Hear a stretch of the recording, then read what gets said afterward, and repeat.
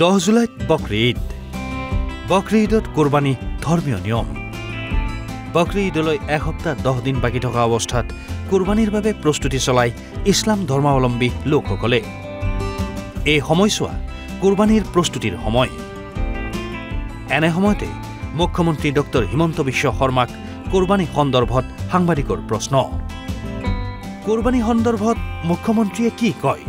মই এইটোৱে ক'ম যে গৰুক ভাল কৰি ৰাখক খুৱাই বুৱাই ডাঙৰ কৰক। আৰু আপোনালোকে যদি মোক কোৰবানীৰ প্ৰশ্ন সোধে মই কি উত্তৰ দিম।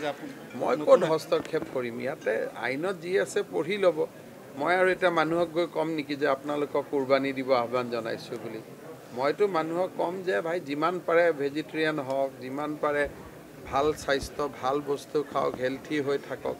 বাকী আৰুতো যোনে য'ত যি ধৰণৰ ধৰ্মৰ নীতি নিয়ম আছে পালন কৰিব তাত মোৰতো ক'বলগীয়া একো নাই। ভিডিঅ' জাৰ্নেলিষ্ট প্ৰশান্তৰ সৈতে বিচিত্ৰ ৰাজবংশীৰ report Assam live twenty four.